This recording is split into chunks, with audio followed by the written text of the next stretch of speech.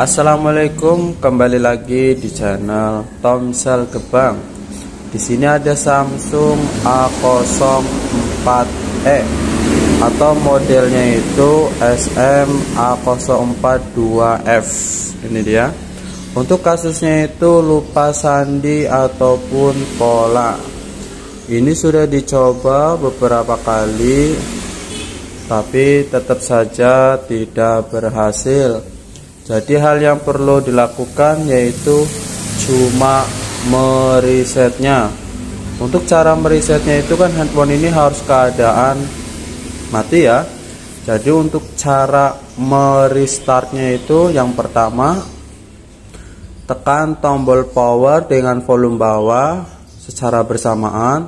Sebelum itu untuk bagian SIM card ataupun memori harus dilepas terlebih dahulu guys. Ya. Karena untuk cara ini semua data yang ada di handphone pasti hilang semua.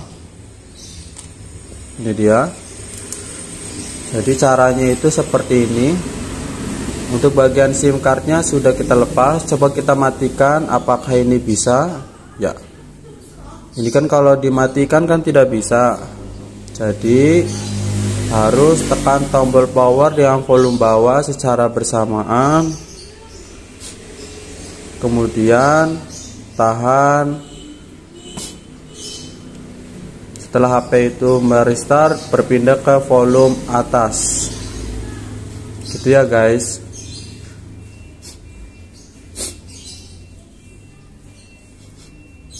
Sampai masuk ke recovery mode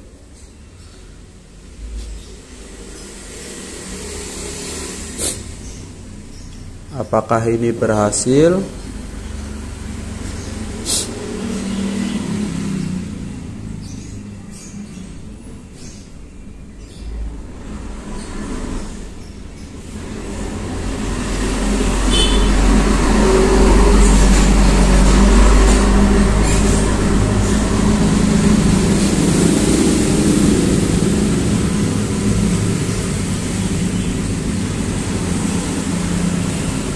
Ya, ternyata tidak berhasil guys. Jadi itu cara pertama. Coba aja lakukan terus menerus sampai masuk ke recovery ya.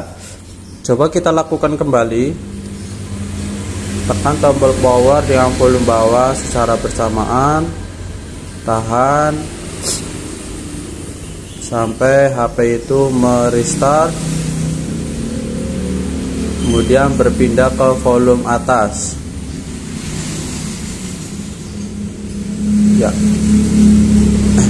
Untuk volume bagian atasnya masih kita tahan. Ya seperti ini ya guys. Jadi bagaimana caranya bisa menampilkan tampilan recovery mode? Itu ya. Jadi ada juga yang cara kedua bagi teman-teman yang tetap tidak berhasil. Bagaimana cara merestart atau matiin handphone yaitu dengan cara bisa juga kita siapkan SIM yang ada pinnya. Coba kita lakukan dengan cara kedua biar kita bisa masuk ke recovery mode seperti ini ya. Mari kita ini di reboot dulu. Tadi untuk cara pertama itu dengan menekan tombol kombinasi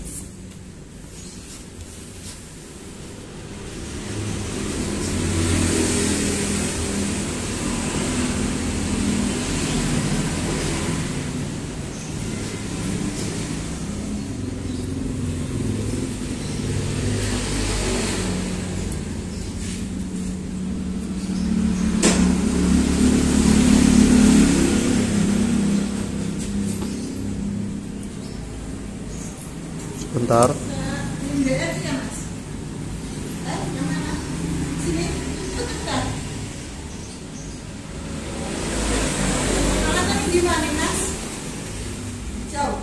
Ya lumayan.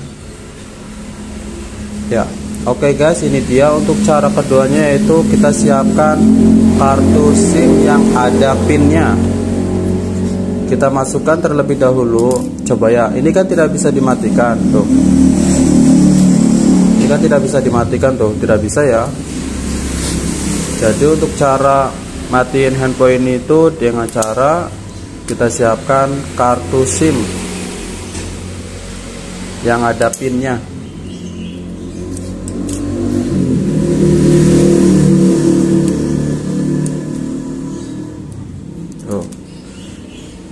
Ini dia. Ini dia sudah ada pinnya ya. Ini nggak usah kita masukin kemudian kita tekan tombol power kemudian kita matikan.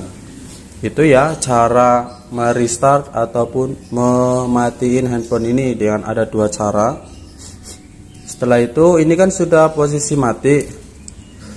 Boleh kita ambil kembali pada bagian SIM cardnya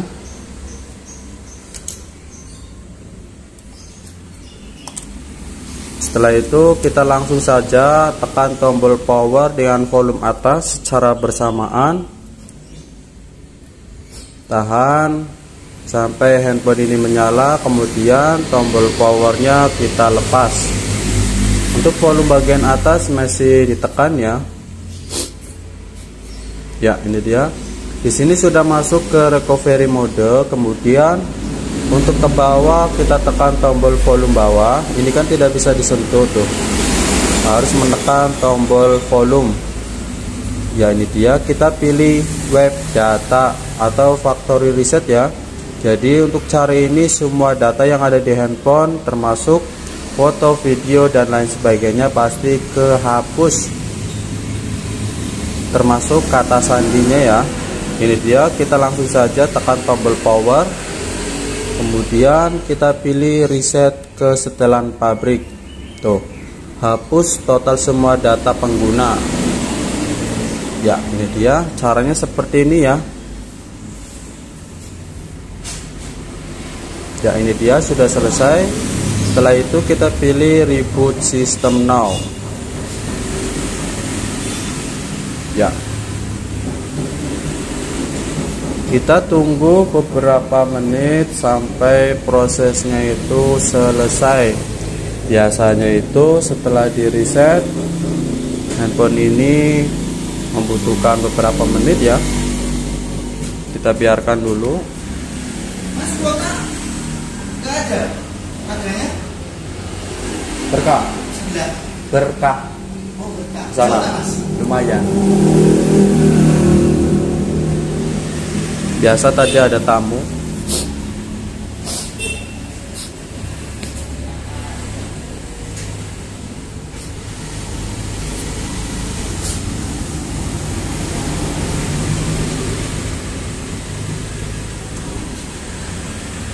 Kita tunggu sampai proses loadingnya selesai guys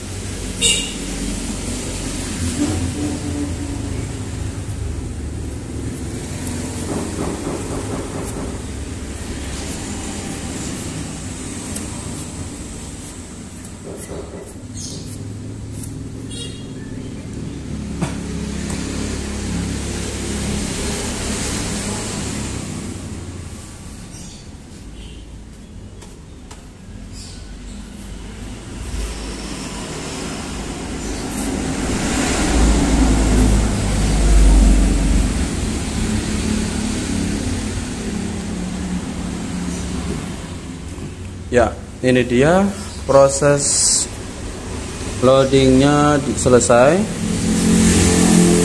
Pasti akan menampilkan pilih bahasa. Ya ini dia. Jadi setelah di reset pasti akan muncul selamat datang. Kemudian kita langsung saja ini kan pilih bahasa Indonesia mulai. Kemudian kita Setuju semua? Setuju? Ya. Setuju.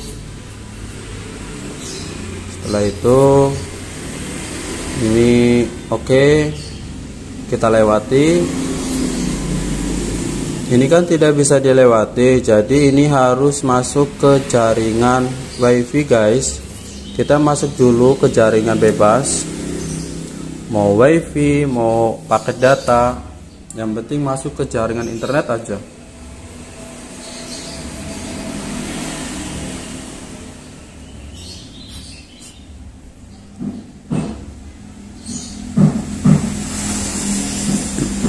Ya ini dia. Sudah masuk ke jaringan internet. Sekarang sedang memeriksa update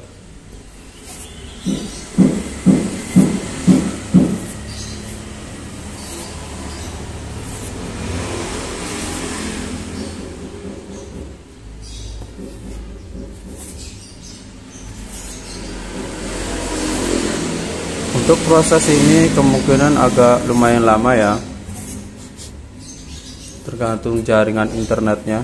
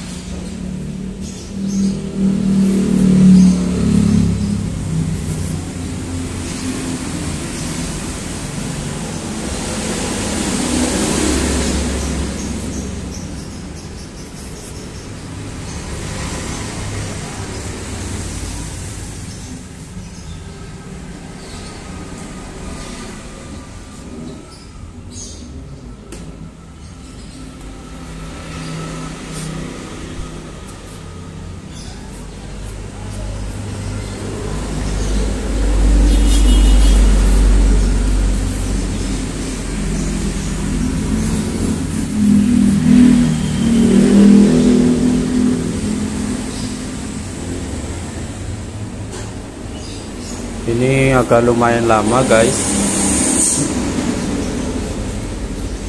Untuk menyiapkan ponselnya. Proses ini mungkin perlu beberapa menit. Wow agak lumayan lama juga ya. Apa-apa deh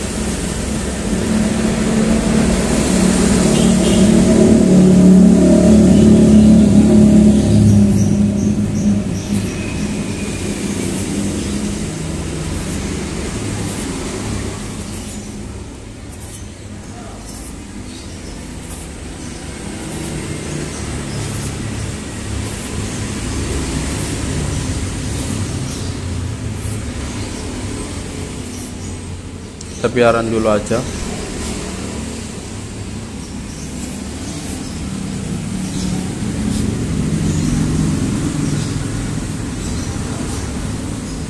Ya ini dia. Proses penyiapan selesai ya. Berhubung handphone ini kan sebelumnya itu lupa pola ya. Jadi ini tidak bisa digunakan tidak bisa gunakan. Jadi kita gunakan itu gunakan akun Google saya. Itu guys. Jadi bagi teman-teman yang diusahakan masih inget ya akun Google yang terdaftar di handphone ini. Nanti setelah ingat kita masukin email dengan kata sandi yang terdaftar di handphone ini setelah itu proses itu akan selesai ya. Pasti handphone ini bisa digunakan kembali. Berhubung handphone ini lupa akun Google jadi ini tidak bisa kita teruskan ya. Jadi harus kita bypass atau melewati akun Google. Nanti ada cara cara bagaimana melewati akun Google ada di link di bawah ini. Mungkin itu saja tutorial dari kami. Semoga tutorial ini bermanfaat buat teman-teman semua. Terima kasih dan sampai jumpa. Bye